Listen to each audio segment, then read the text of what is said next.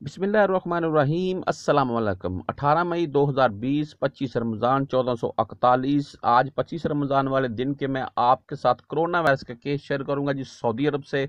आज कितने case record किए गए हैं कि शहर से कितने आए हैं, कितने लोग आज सेहतियाब हुए हैं और कितने लोगों की आज वफात हुई है इस वायरस के चलते हुए सऊदी अरब में आज पच्चीस रमज़ान वाले दिन। तो यहाँ भाई, आप सब भाइयों को पता होगा, कल सताईस सौ से जायद केस रिकॉर्ड किए गए थे सऊदी अरब में।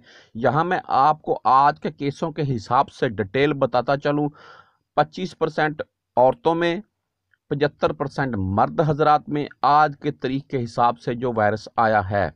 ग्यारह परसेंट बच्चों में, एटी सिक्स छियासी परसेंट बालग हजरात जो अठारह साल से जायद उम्र के हैं, उनमें छियासी परसेंट केस आए हैं। सिर्फ़ तीन परसेंट बूढ़ों में है जी जो साठ साल से जायद उम्र के हैं। तो नीचे देख लें, चौतालीस परसेंट सऊदी हजरात और छप्पन परसेंट नॉन सऊदी जो हम गैर मुल्की मुकीम है सऊदी अरब में, छप्पन परसेंट गैर मुल्कियों में आज के वायरस की तस्दीक हुई है। तो भाई, आपको यह मैं बताता चलूँ, पिछले एक हफ़्ते से सऊदी अरब में उतने केस नहीं रिकॉर्ड हो रहे जितने अल्हम्दुलिल्लाह रोज़ ब रोज़ मरीज़ सेहतियाब हो रहे हैं। सऊदी अरब में सेहतियाब होने वालों की तादाद में खातर खवा इजाफा हो रहा है।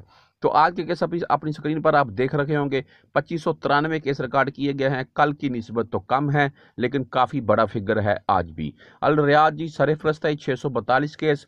मक्का मुकरमा 24 घंटे कर्फ्यू होने के बावजूद पूरे शहर में 510 केस है जी जद्दा में 305 केस है जी मदीना अलमुनवरा दो सौ पैंतालीस केस है जी अलदमाम एक सौ चौहत्तर केस है जी हफूफ एक सौ सैंतालीस केस है जी खुबर एक सौ तैंतीस है जी कतीफ़ इकहत्तर है जी ताइफ चौंसठ है जी दर्रिया चौतालीस है जी जहरान चौंतीस है जी जुबेल तैंतीस है जी हजम अल जलामेद देख लें जी, तेईस केस है जी, बुरीदा अठारह केस है जी, सहन अठारह केस है, यम्बो सोलह केस है, नीचे वो पाँच सात दस ऐसे चल रहे हैं मुख्तलिफ़ शहरों में।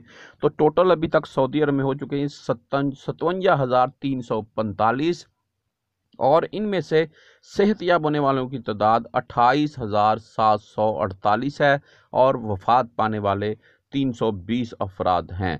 तो यहाँ मैं आपको डिटेल बताता चलूँ, भाई, आठ अफराद की आज वफात हुई है इस वायरस से और तीन तीन हज़ार छब्बीस अफराद आज सेहत याब हुए हैं। अल्हम्दुलिल्लाह, सऊदी अरब में जैसा कि मैंने पहले भी बताया है सेहत याब होने वालों की तादाद में बहुत बड़ा इजाफा हो रहा है, जो कि एक बहुत ही अच्छा इकदाम है सऊदी डॉक्टरों और सऊदी हॉस्पिटल और सऊदी गवर्नमेंट की तरफ़ से।